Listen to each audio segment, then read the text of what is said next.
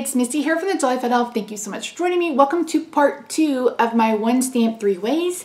If you missed it, I posted part one. We are I am using the Mop Head Hydrangea from Picket Fence Studio. This is a beautiful stamp. And if you guys remember, I used one of their succulent stamps to make a poinsettia years ago. I've colored their peony stamp. These huge oversized florals are probably some of my favorite. Now in the last video, I used watercolor pens. I used like five or six colors to color that floral. I love it. Obsessed with those cards. In today's video, I'm gonna share with you how you can get dimension, etc. with one marker. So we're using one blue marker and one green marker to color today's image. So if you're interested in that, don't forget to subscribe. Feel free to follow me over on Instagram. I'm at Misty Bands. No, I'm not. I'm at the Job I am also at Misty Bands, but that's makeup. So if you're interested in makeup, there you go. If you haven't already, I hope you'll consider checking out my D-Stash. Please and thank you. I'm trying to get rid of some things so I can do a craft room tour um, and right now they're all in baskets on my desk, so you can check that out. If you want to make me an offer, feel free. I do ship internationally. Blah, blah, blah, blah, blah. All that information is linked in the description box down below, along with the direct link to the stamp. Now, I do not use affiliate links as of right now. I do have something I will bill you, but anyway, blah, blah, blah. If you like this series, be sure to give it a thumbs up. Let me know what you think of these cards in the comments down below. Let's head over to the craft table before I sit here and go any more. Lord have mercy on my soul. All right, friends, I am starting this image as I did the last one. I used an anti-static tool to remove static from my piece of watercolor paper. I've stamped with VersaFine Onyx Black ink. I've gone over it with some clear embossing powder, and then I'm going to heat that embossing powder with my heat tool until it's completely melted. Now, this is sped up 800 times, so it doesn't necessarily go this fast, but it is still a pretty fast and quick process. Now, as I mentioned in the last video, I highly recommend using clear embossing powder rather than trying to use black embossing powder. Black embossing powder can really get all over everything and get everywhere, and it's just easier that way. So I am using one of the light blue markers. And as I mentioned in the intro, I'm going to share with you how you can color and get dimension with just one marker. So I'm starting at the center and adding in the darkest amount of color. And then I'm just going to use my water tool, um, my water pen to blend it out. Um, getting a lighter as we move toward the tip of the flower or the petal. So again, this is a hydrangea. This is the color you see more often for hydrangeas. Um, hydrangeas really depend on the pH of the soil for their color. Um, although I do think that there is some manipulation that you can do. And yeah, but I, yeah, hydrangeas are gorgeous. I love hydrangeas, but I also love bougainvillea.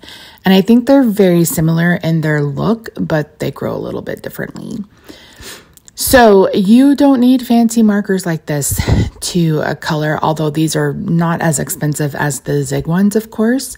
But you can also use a water-based ink, a dye-based ink. If you have dye-based ink, I have probably 40 videos on the channel over the years where I've used ink pads to watercolor.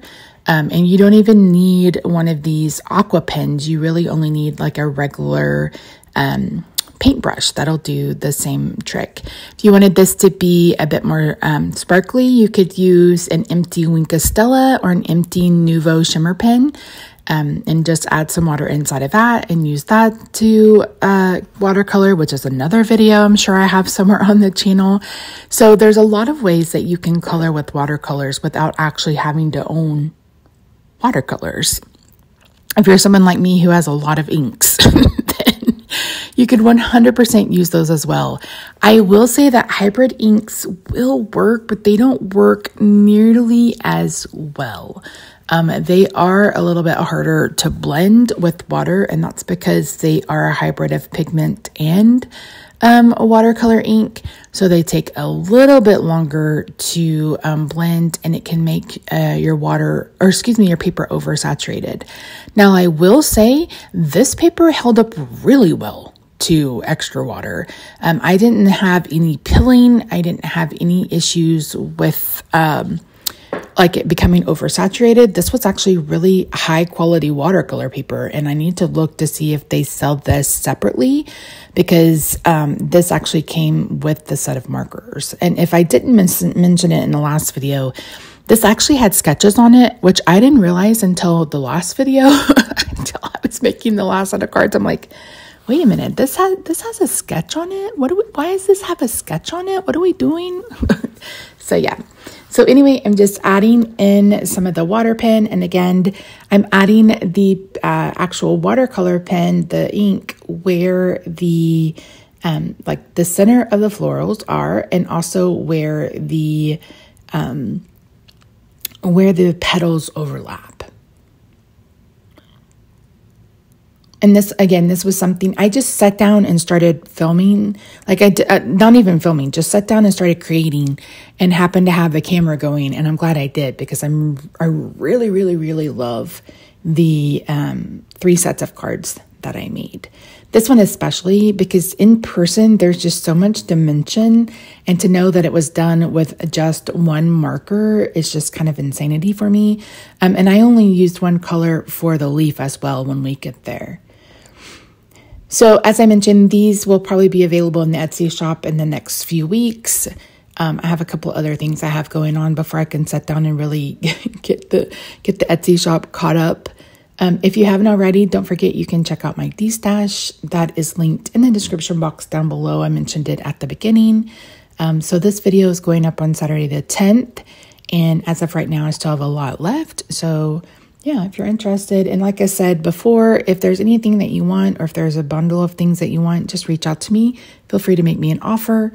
Um, if it's one that I feel comfortable with taking, I will accept. If not, I may counter and ask you to come back with something else. Or if you just want to say, you know, just buy as is, that's that's something that you can do as well.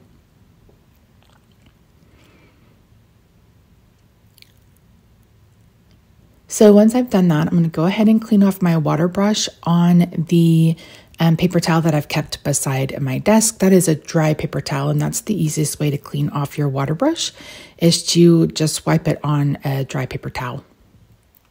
That's a good way to also um, take away some of the uh, water. So if it's too wet, if you feel like you're getting too much water, then you can do that as well. And here I am taking this outside of the lines of the um, drawing because I know that I'm going to cut this out and that it's not going to matter. For the backdrop, rather than doing blue around the outside of it, I've decided to do pink. And I really love how this looks as well. Um, I have it right in front of me. It just gives it a really nice soft look. Um, this could be, uh, you know, a sunset if you're in a place where you get these kind of painted colors in the sun, like Oklahoma. Some parts of Texas, I think, does it as well. And there may be other places. I'm not very well traveled. I mean, well traveled. We've I've done mostly the East Coast, so. But I know Oklahoma has really gorgeous sunsets um, from growing up there. And again, I am just going around the whole entirety of the flower um, and around the edges, which I know will be cut off. I'm not being quite as um, diligent about staying in lines, etc. I am trying to make sure that I don't pull the um, blue, um, excuse me, the pink into the blue or the green. So once I've done that, I'm going to go ahead and bring in a couple of dies from Hello Bluebird. Um, these are um, half circle dies. Oh, it looks like I'm going to use yellow in the in them first though. And then just going back over and blending out where I feel like it may um, need a bit more water.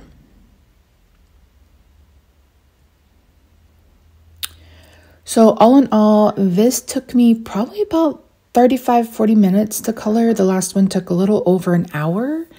Um, so again, something where I just turn on a podcast or turn on a um, a YouTube video or something like that, put on some Netflix, and I just just create while that's going in the background.